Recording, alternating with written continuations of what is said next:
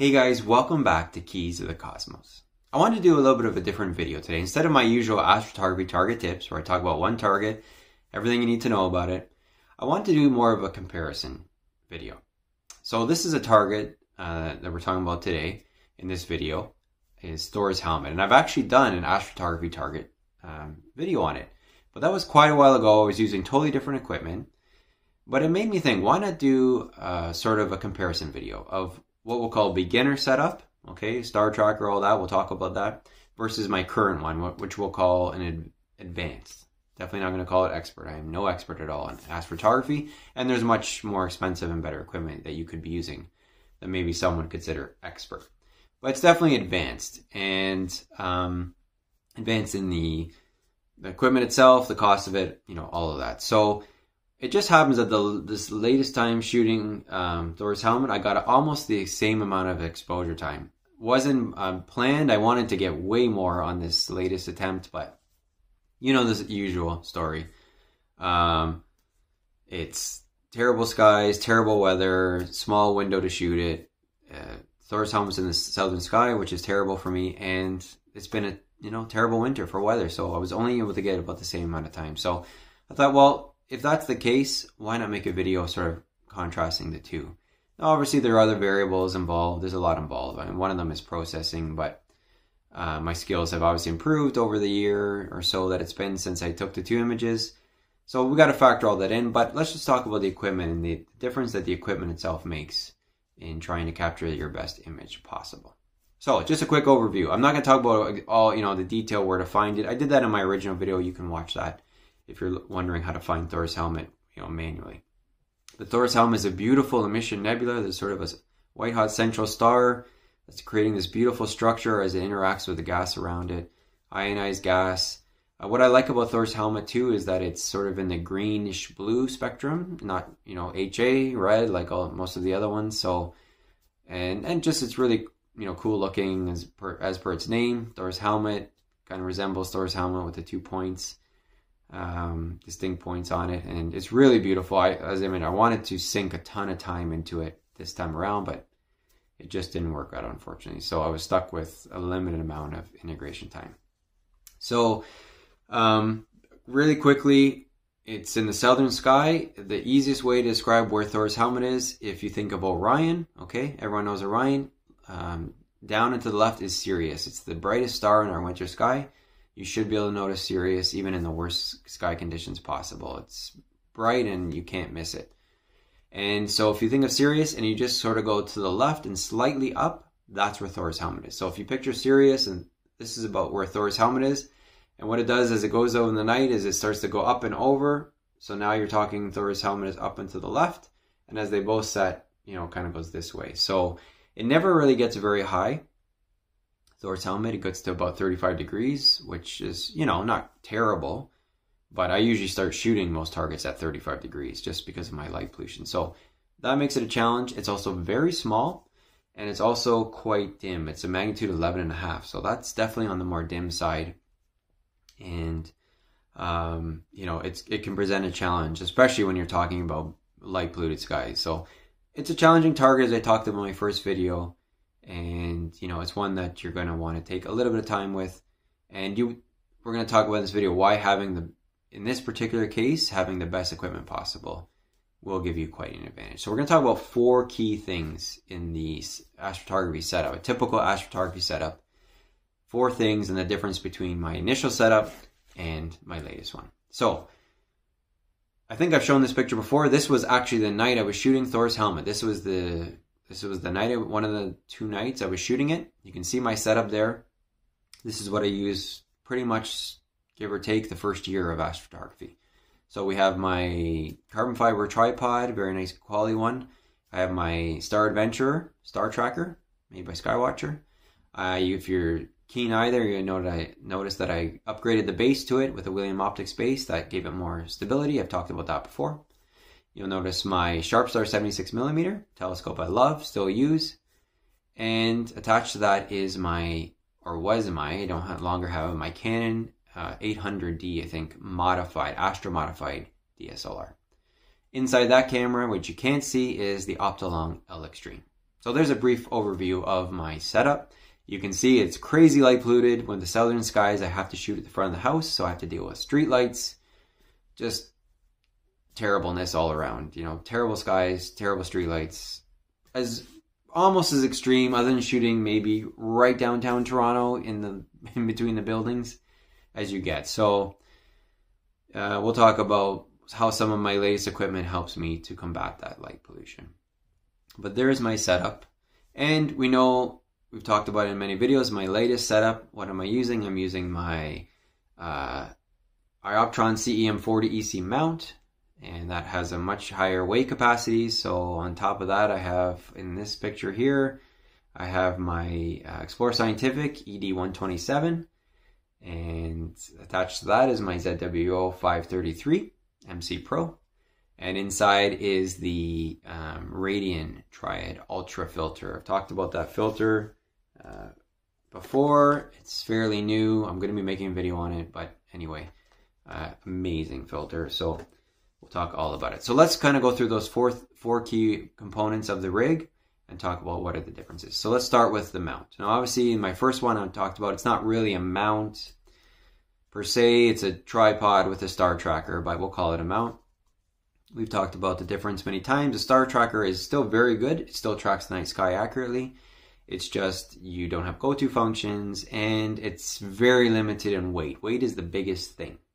Why is that a big deal? Well, because weight means uh, affects the telescope you can put on, and what we're going to be talking about this first point, exposure length. With a bigger mount, you're able to do longer exposures, um, and it tracks more accurately, ideally. So you still get fairly round stars, and you're able to do that with a heavier uh, telescope. Now, in this case, we talked about Thor's helmet, right? It's very small, it's very faint, so you want to use as much a big a scope as possible to get in zoomed in as much as possible. And in this case, with my star tracker, my SharpStar 76 millimeter is the biggest telescope I can use. And I will say, I've said it before, it's too big for the star tracker. It weighs something like seven pounds, but when you add in the reducer and then the camera, I mean, you're you're at the max weight of what they recommend for that star tracker. So what does that mean? Shorter exposures. One minute exposures, the longest, and even then, they're not the you know the roundest of stars by any means. So what is shorter exposures as opposed to longer exposures where with my iOptron, even with that big telescope, I'm able to do three minute exposures. So what's the difference? Well, longer exposure means the camera is staying open longer, shutter, it's allowing more light, you're getting more signal, you're able to get more details. Um, now, there are some arguments, yes, you can shoot shorter exposures and more integration time, and it's total integration time that's more important. People can battle back and forth on that and that is definitely debatable. But in my experience, longer exposures, particularly on a faint target, are an advantage. Now, you don't need to be able to do 10 minute exposures. There are some targets out there that, that would definitely benefit from that. But your average target out there, even if you can do three minute exposures, like I am, I did in my latest uh, image of the Thor's helmet, it's a big advantage. I, at least that's what I've found. So, again, you can debate back and forth on that. But what I will say is just because you can only do one exposure, does that mean don't bother? No. Spend more time overall if you can. If you do have the weather, spend more integration time. Get as much integration time as possible, and that will battle, you know, only being able to do one minute exposures. So, yes, in my opinion, it's an, it's an advantage to do longer exposures, but it's not a blank statement. You know, more integration time definitely will help and the longer you can spend on it, the more details you're gonna be able to pull out of it. And the more you'll be able to crop in to get those details. So mount definitely helps. The go-to function is amazing. I mean, all that set aside, for talking strictly picture quality, the longer exposures definitely do help. Let's talk about the telescope. So SharpStar 76 millimeter with a reducer, focal length 339 millimeters. In my newest uh, rig, I have my Explore Scientific ED127 with the focal reducer as well, 666 millimeters. So almost double. Why does that help? Well, in this case in particular, we're talking, I mentioned focal length, but really the way you want to focus in on is aperture. Aperture is simply, here's my red cat. Aperture is this measurement here. So how wide is the, the, the front end of the glass that's going to be taking in that light? More aperture equals more light coming in, light gathering capacity. And simply put, this might be debatable to a lot of people, but more aperture equals more resolution. Okay, focal length doesn't necessarily mean that. I'm not going to get into details. I'm not qualified to, to explain that to you. And there's people that are much better qualified and much more, more knowledgeable. But generally speaking, okay, we're keeping this as simple as possible. More aperture equals more resolution. With more aperture, you're more cropped in. You get better details. There's no way around that. I don't think anyone can argue that. Now, when you start getting to more the you know fine points of astrophotography, there is definitely a debate there. But if we're talking about just a simple setup versus a, a quality uh, higher aperture telescope, you're going to get better resolution. You're going to get better details. And here's just to sort of prove that point to you. Here's I don't have a single exposure, okay, like an actual exposure from the first time I shot it.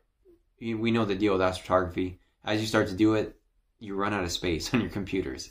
And some of these older pictures that I know I won't be adding to, I have the final picture saved, but I deleted all the files. It's just, I can't keep it all.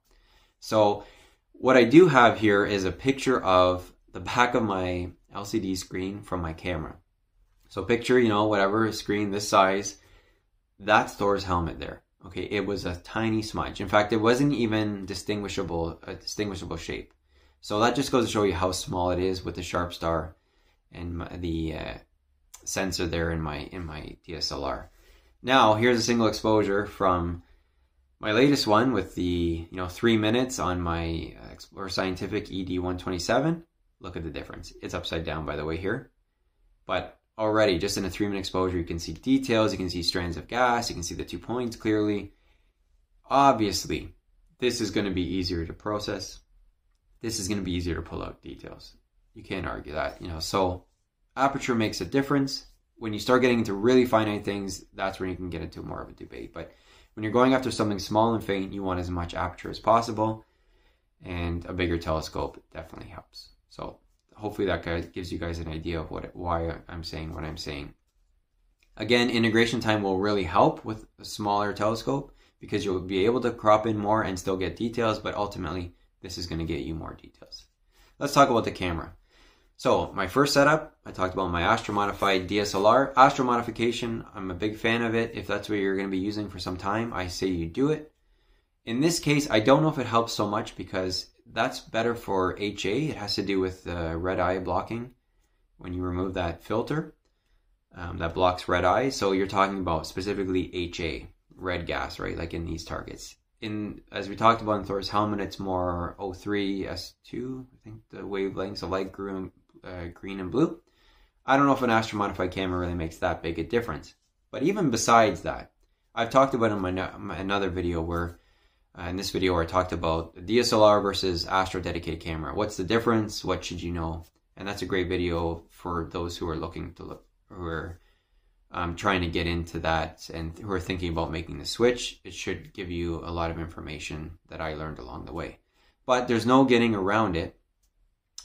One is made for all sorts of things and is better suited to uh, a lot of light and you know taking landscape family portrait all that. And one is only made for astrophotography. It specializes in a, uh, a, very sensitive sensor made to be shot in very low light situations. So what do you think is going to be better? Obviously. Um, doesn't mean that dslrs can't be used. There's amazing pictures. This was taken with dslr both of these. Um, but there is a difference for sure the camera. One is meant for specifically for one thing and obviously it's going to do a better job. So i do recommend if you can eventually switch to an astro dedicated camera but it comes with a whole bunch of things. I talk about in that video that i mentioned.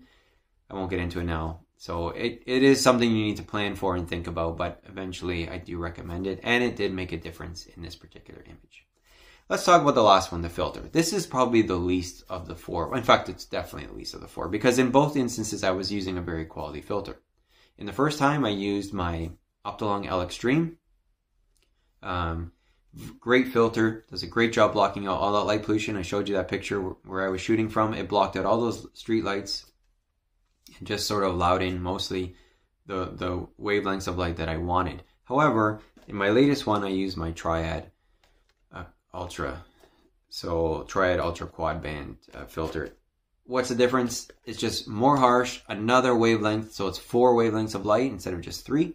Makes processing a little bit easier and just even more strict pass of what light allows in. So it's only allowing what I want, not what I don't. Um, I do find, just quickly, I will say, it did give me some, I'm going to do a, a video on this. I, I, need to test it more. It did give me some weirdly shaped stars, so you can look for that in my final image, my latest one.